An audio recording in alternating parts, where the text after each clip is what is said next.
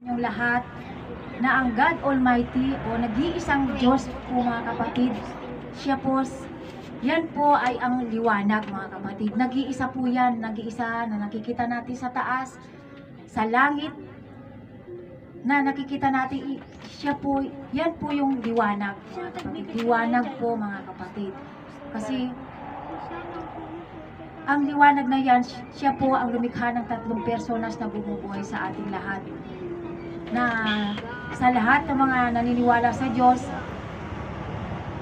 hindi nila pinapaniwalaan niyang liwanag na yan dahil hindi po kilala, hindi po nakilala, hindi po nakilala na siya po yung God Almighty na sinasabi sa mga reliyon na ang Diyos ay pinaniwalaan nila pero hindi nakikita. Pero dito po sa Motherland mga kapatid, ipinapakilala at pinapaalam po namin sa inyo na ang Diyos na makapangyarihan sa lahat, nag-iisa siya, siya po yung liwanag. Katotohanan siya mga kapatid dahil katotohanan siya nakikita. Diba po? Kasi pagka nakikita, may pruweba, kailangan paniwalaan o intindihin kasi nakikita nga eh. Kitang-kita ng dalawang mata, nauunawaan mo, siya, siya po ang bumu yan po ay bumubuhay sa ating lahat na kung wala po yung liwanag na yan, hindi po tayo mabuhay mga kapatid. Kahit na, kahit na madilim o kahit wala yung, yung green niya, nabubuhay tayo mga kapatid. Sa liwanag niya, nakikita natin liwanag. At nabubuhay tayo dahil sa sa ating buhay na pinagkaloob niya sa pamamagitan ng personal niya na nagpamilya si Ama Adan kasama niya si Ina Eva mga kapatid. Yan po, ito po yung katuruang nakikita mo, nakikita ng lahat, nakikita natin lahat. Siya po yung God Almighty nag-iisa. Na ang personal po niya si Ama Adan na pinagkasala ng buong mundo. Pinagkasala si Adan na siya pala, siya ang God Almighty. Pinagkasala niyo ang Diyos. Siya yung, hindi siya. Si Amadan ang uh, the mighty one. si Ama Adan ay the mighty one. Siya po yung Confianza. nilikha, kinumpiyansa ng Diyos na Kumpiyansa. kumpiyansa ng Diyos na kasi ang Diyos hindi po tao. Nagkatawang tao siya sa pamamagitan ni Ama Adan. Siya po yan na pinagkasala ng lahat ng mga ng mga matatalinong tao.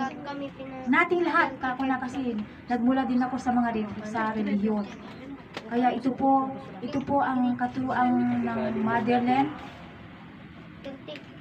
Isama na ko na pati yung promise land kasi nagmula itong katuruan nito sa lugar na promised land. Kasi doon doon na ipahayag ni Ama Martiniano sa lugar ng promised land.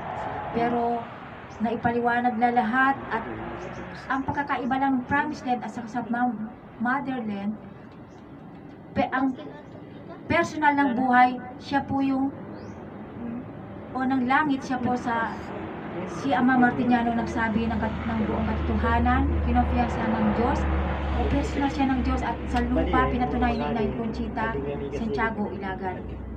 At ito po kasi ang pagkakaiba kasi ng promised land sa paniniwala na sa katruang ito ay hindi nila na ipapaliwanag na ang God Almighty na sinasabi ni Ama Martiniano wala pang langit, wala pang lupa, wala pang si Adan andyan na liwanag. Hindi nila idinadirect. Nakadirect sila sa Diyos Ama na, maka, na lumikha ng langit, lupa, Adan. Pero dito po sa Motherland, makinig po kayong mabuti dito, dito sa Motherland kasi dito sa Motherland na patunayan, na unawaan, na limi na ang buong katotohanan. Ang katotohanan na God Almighty, isang liwanag, isang liwanag na lumikha ng langit, lupa at adan. Ito po yung bumubuhay sa atin lahat mga kapatid. Bagkus alam po natin na ang bumubuhay sa atin yung langit. Kung wala ang langit, hindi tayo mabubuhay. Alam ng lahat yan ng mga matatalino. Kahit na yung walang alam o hindi nakakakilala o hindi nakapag-aral ng sa mga binayaran ng mataas, alam nila yan. Pero hindi, hindi lang nabibigkas kasi eh, wala lang. Parang ganun lang, wala lang. Pero dito sa katuruan ito, pinaka-importante po na malaman natin lahat na langit at Diyos Ama. Siya po yung langit na Diyos Ama. Siya, sa taas, yan po yung langit na bubong natin. Sa ating buhay, ito po yung hininga natin. Ito po yung buhay natin. Na kung wala yung buhay natin, hindi tayo mabubuhay. Lupa na Diyos Anak, siya po yung lupa. Diyos Ama, Diyos Anak, lupa na Diyos Anak. Siya po yung nag, pinagmulan ng ating ina na si Ina Eva, unang ina natin, na nakabuan ng ating katawan. At ang Diyos Espiritu Santo, mga kapatid, si Ama Adan. Ama Adan na Diyos Espiritu Santo, Santo kako kasi si Santo sabi kasi santo siya, walang kasalanan. Si Ama Adan. At Diyos Espiritu Santa, si Ina Eva, santa siya kasi banal siya, wala siyang kasalanan. Yun po mga kapatid. Langit na Diyos Ama, lupa na Diyos Anak, Diyos Espiritu Santo at Diyos Espiritu Santa, Ama Adan at Ina Eva, yan po, sila po ang tatlong personas na bumubuhay sa ating lahat. Na kung wala ang tatlong personas na yan, kung, kung kulang pa ng isa, hindi rin tayo mabubuhay. Ka- Kaya kailangan tatlo sila. Tatlong personas na nilikha ng Diyos na bumubuhay sa ating lahat, mga kapatid. Yun po ang katunayan mga kapatid na pinapaliwanag namin sa inyong lahat. Hindi po namin sasabihin sa inyo na disiplinado kami o yung ugali namin hindi po kasi ang ugali natin natutunan na natin sa mga reliyon, sa mga sa mga pinag-aralang binayaran. Pinag-aralang binayaran ng mga matatalinong tao lalo na yung sa gumawa ng li- libro Biblia yung, yung mga yung mga natutunan natin sa libro Biblia hindi po dun hindi po dun nanggagaling itong katurungan ito kundi galing ito sa langit lupa adan nakabase na po kami dito.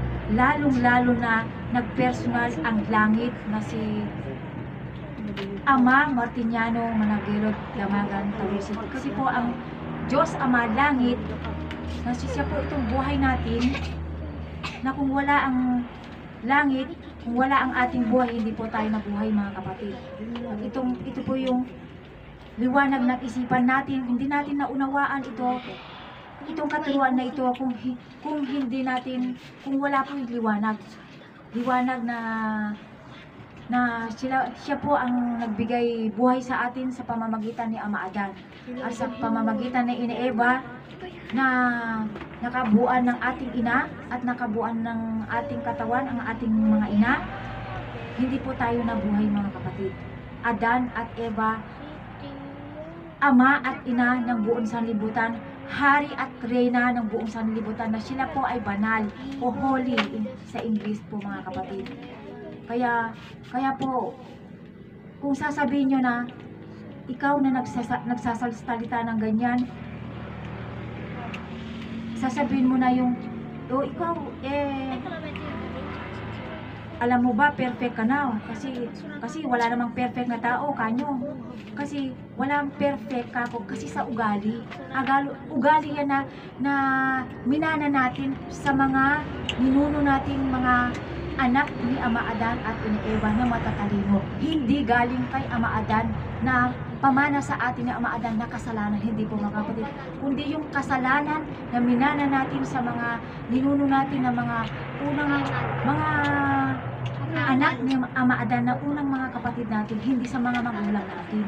Kasi si Ama Adan at Ina Eva, pinagkasala nating lahat. Kaya andito tayo ngayon na na kasalukuyang din nagkakasala kasi pinaniwalaan natin yung Biblia eh. Pinaniwalaan natin at nung una, nung na- nalaman ko ito sa sa Promised Land, yun yung hindi ko pa nak- hindi ko nakilala yung liwanag na Diyos na liwanag. Kini-question ko nga nun kasi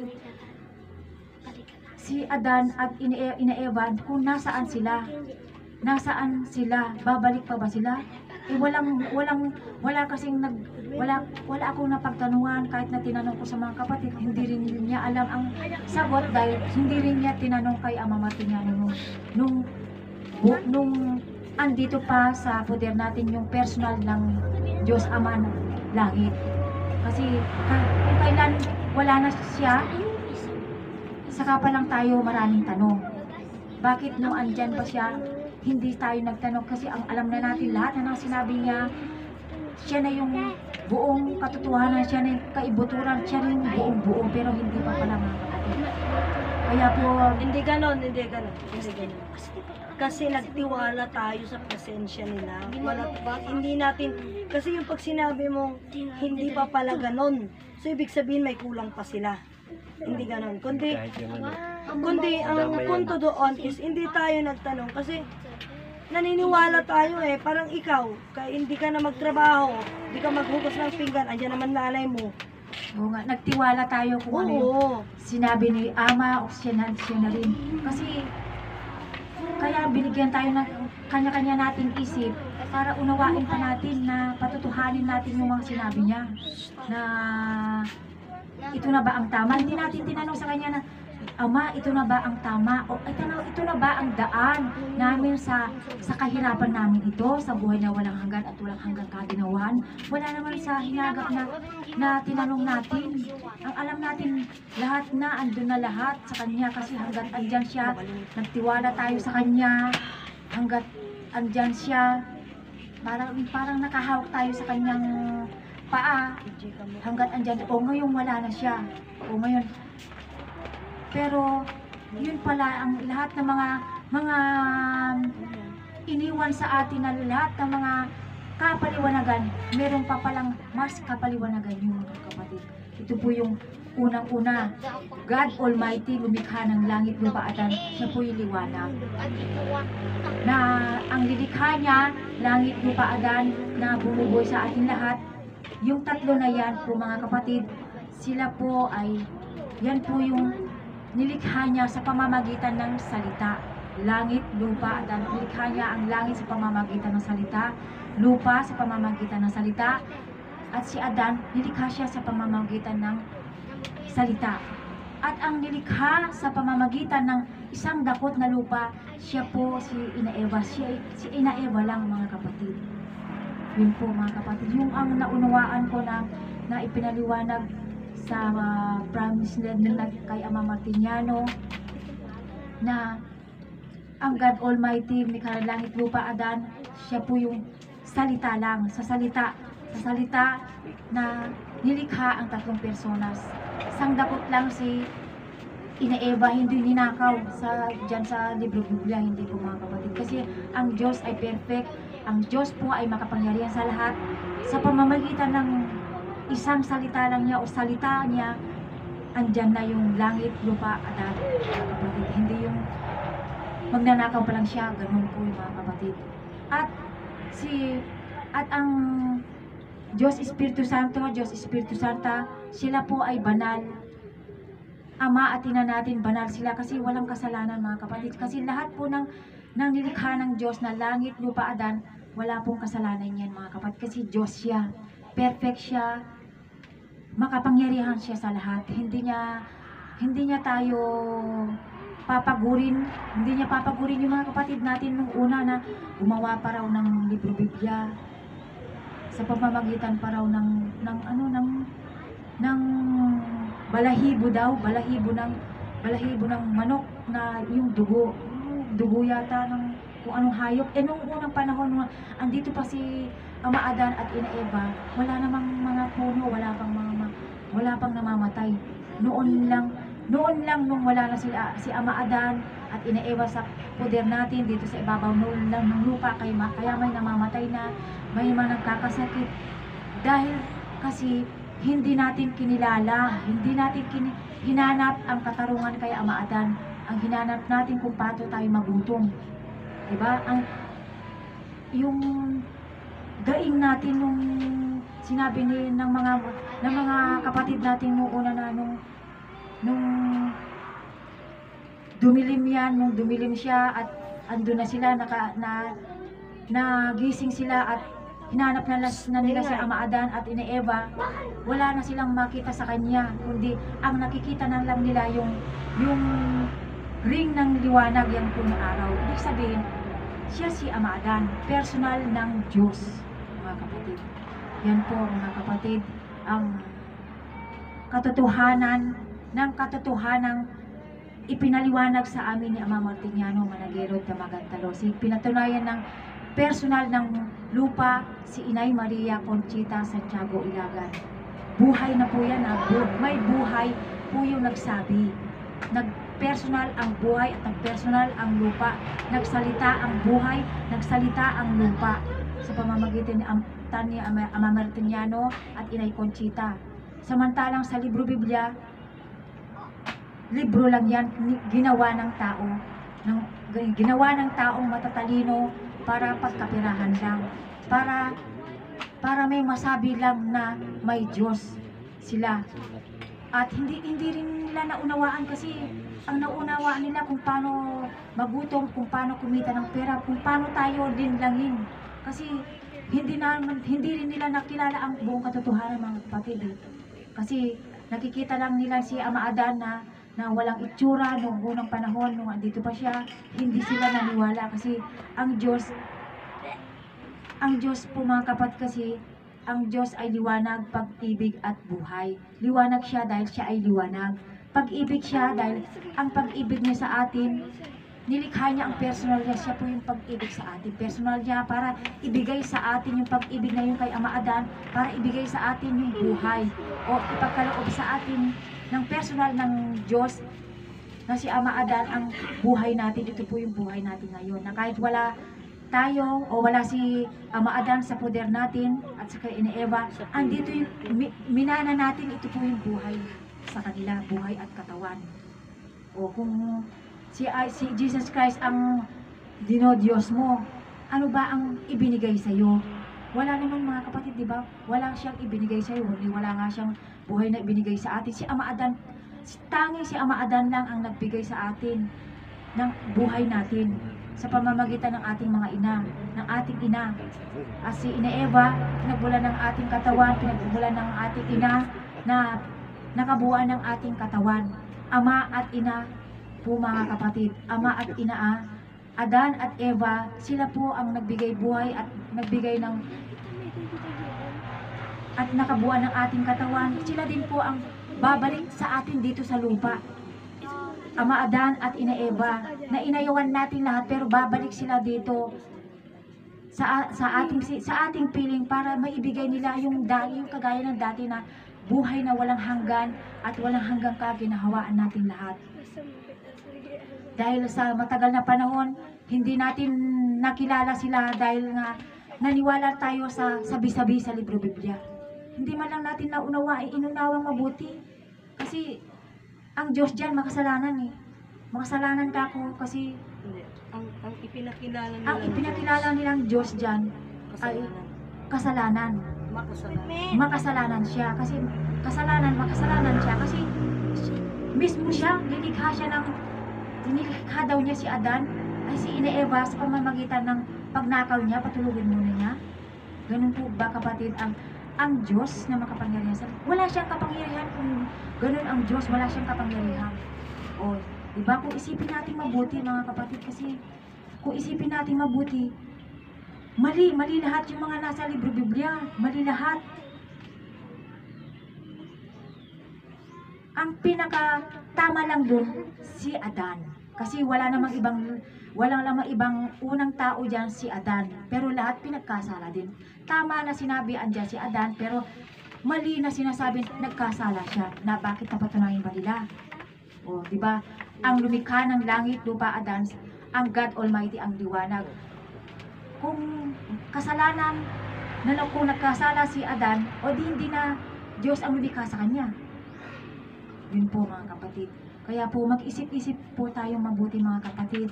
Ito po yung sinasabi namin sa inyo, hindi namin sinasabi ito na, na perfect ang ugali namin, hindi po. Kundi hindi namin buhay o hindi namin buhay ang kinukwento namin kundi kung paano tayo nabuhay, kung paano tayo, kung saan tayo nabuhay.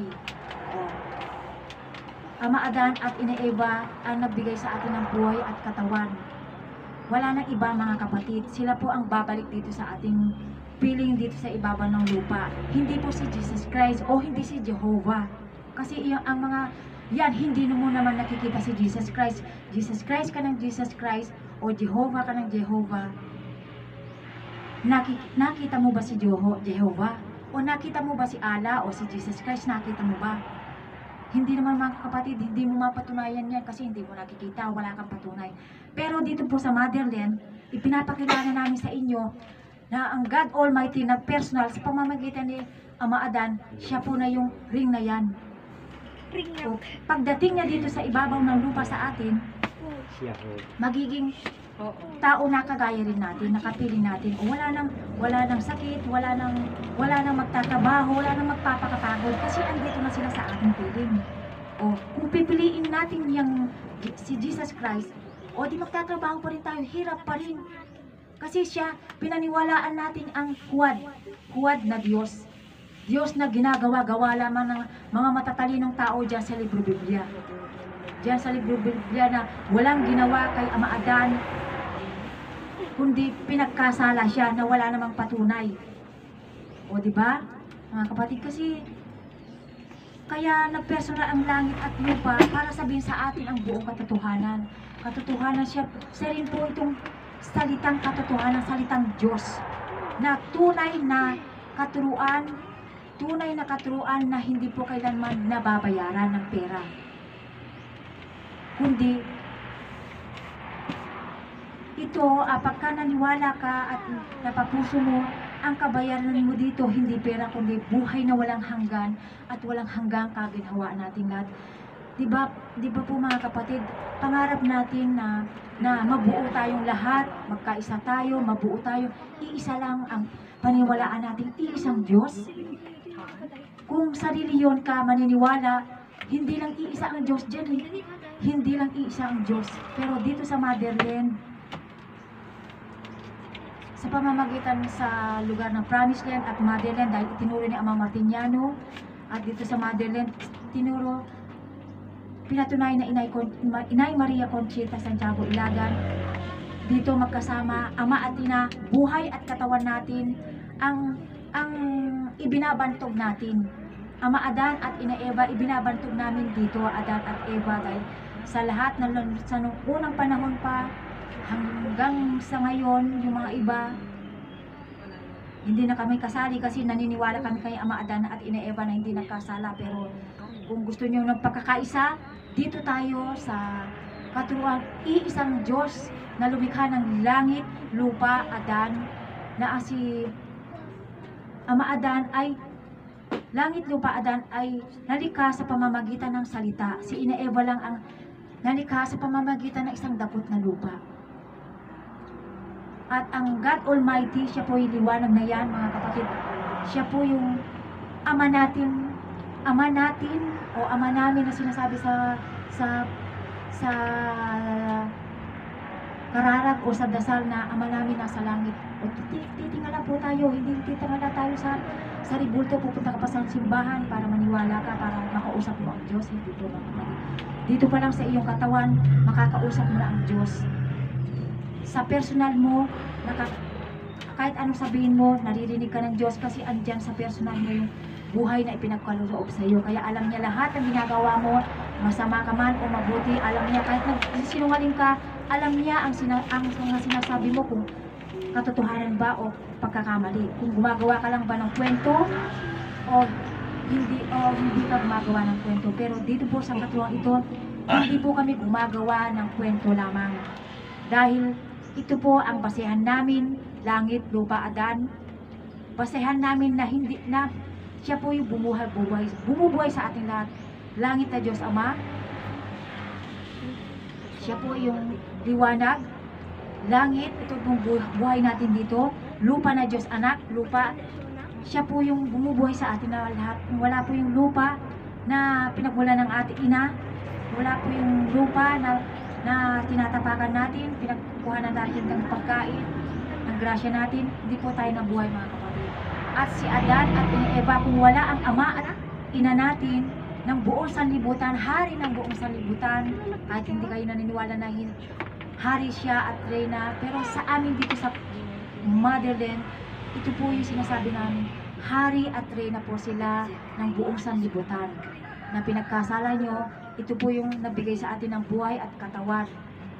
Ama Adan at Ina Eva. Sila po ang bumubuhay sa ating lahat. Langit, lupa, Adan at Ina Eva, santo po lahat ng mga yan. Pero ang libro Biblia po mga kapatid, hindi po santo yan. Kundi pagbasulan lang. Kasinungalingan, kasi maraming kasinungalingan dyan. Diyos sabi niya, sabi ng Diyos, sabi dito, sabi mo, hindi naman Diyos ang sasalita. Pagka binasa mo yan, Diyos ba yung nagpasa?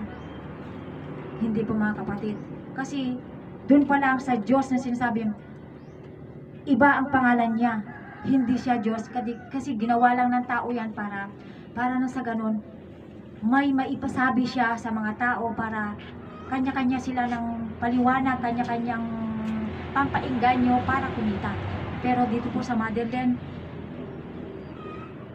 pagka naniwala ka dito at napatunayan mo, naunawaan mo, hindi hindi ka babayaran ng maraming pera, kundi buhay na walang hanggan at walang hanggang kaginhawaan natin lahat.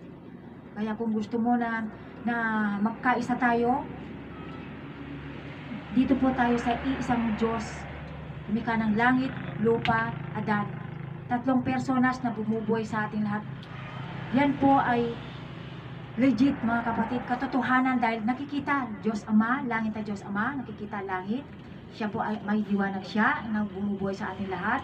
Sa atin dito sa lupa, ito po yung ito po yung ating kaisipan, liwanag ng aking kaisipan. Wala yung, kung wala na, yung, ang liwanag ng aming kaisipan, ang aking kaisipan, hindi ko naunawaan itong, itong pinapaliwanag namin Diyos na liwanag mga kapatid.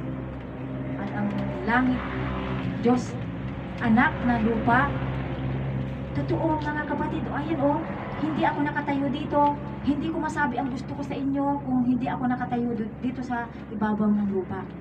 Hindi na buo ang aking katawan kung hindi dahil kay ina, ina Eva na pinagmula ng aking ina din. At si Ama Adan, Diyos Espiritu Santo, na yung sinasabi sa reliyon na Diyos Espiritu Santo na hindi nakikita. Naniniwala kayo mga kapatid na ang Diyos Espiritu Santo hindi nakikita pero naniniwala kayo.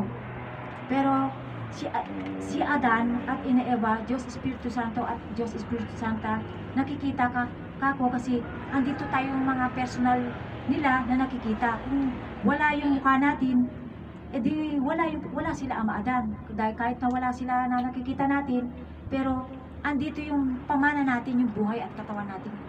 Sila ang ang mukha natin at ang buhay at katawan natin, sila ang pinaka mukha nila at buhay natin. Pero pagdating ng panahon, naghihintay na lang sila Ama Adan at Ina Eva kasi 8 billion tayong lahat ta- na tao. Bakit kami lang ba ang may gusto ng kapayapaan, kaginhawaan, at puro karangyaan lang? Gusto rin namin kayo na na masabi, sasabi namin ito sa inyo dahil mahal namin kayo. Paano pagmamahal namin sa inyo?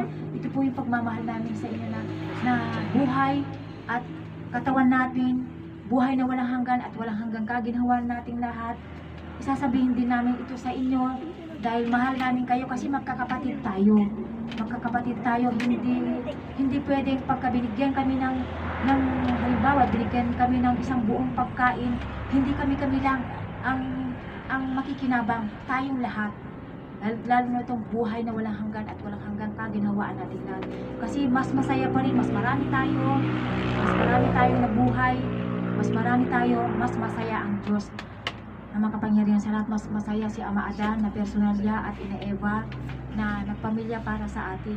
Ang Ama Adan at Ina Eva natin. Mas masaya sila kung buong lahat, buong mundo lahat ng mga anak niya ay ay nagtiwala, naniwala sa kanya, tinanggap siya na sila po ang pinagmula ng ating buhay at katawan, mga kapatid. Kaya ito po ang katuroang kailangan nating unawaing mabuti mga kapatid kasi hindi ito yung sinasabi ng aking kapuso na basta-basta. Yung basta-basta na yan, hindi basta-basta na napulot lang namin kung saan-saan, na eh, pinagkalat naman namin na, na kahit hindi maganda o eh, pinaliwa, ik- ikinalat namin, hindi po mga kapatid. Kundi dito nakataya ang ating buhay at katawan. Na kung mahal mo ang Diyos, na kahit mahal mo ang Diyos, o mahal, Lord, Lord God, kanyo, mahal kita, mahal kita kamo, pero iba naman ang minamahal mo. In Jesus name, kamo naman. O, dun pa lang, siyempre, kung iba, nag, nagpa-pray ka na nga, na gusto mong maligtas, gusto mong gusto mong matamo ang buhay na walang hanggan at walang hanggang kaginhawaan. Pero iba naman pangalan ang ang ang tinatawag mo. Kahit naririnig ka dyan, iba naman. O siyempre ang Diyos, eh, siya ang nagbigay sa iyo ng buhay at katawan pero iba naman ang tinatawag mong pangalan. Adan lang mga kapatid ang kailangan nating tawagin. God Almighty, nagpersonal sa pamamagitan ni Ama Adan, na personal ng Diyos, at Ina Eva na pinapunan ng ating katawan, mga kapatid. Sila, sila ang kailangan nating purihin, sambahin. Kasi kung iba ang tatawagin natin, wala lang, parang wala lang na, na yung panalangin natin andyan lang, umaalis lang din. Kasi ang gusto ng Diyos, kaya nga po nagkaroon ng nilikha ang langit lupa adan at ang mga tao tayo para mag magsamba sa kanya. Magsamba sa kanya. Sa kanyang pangalan sa kanyang kapangyarihan langit lupa adan at ano iba pero iba naman ang sinasambit. Yun po mga kapatid. Adan lang ang pangalan ng Diyos na nagkatawang tao mga kapatid. Yun po. Ito po ang aking maimensahe sa inyo maipaliwanag ko sa inyo kailangan po natin unawaing mabuti kahit na sinasabi namin to na katotohanan pero kayo po ang magpatotoo. Patotohanin nyo sa inyong pangunawa, sa, sa isip, sa salita at sa gawa ninyo. Yan mga kapatid, unawain natin mabuti pa at nang sa ganun ay magiging tama rin kayo. Tama kung sinasabi namin kami ay tama. Para maging tama rin kayo, tama. Tama tayong lahat, katotohanan tayong lahat. Po. Ito po, dadagdagan ko na po ng awit. At ito po ay isang mensahe po. Tama.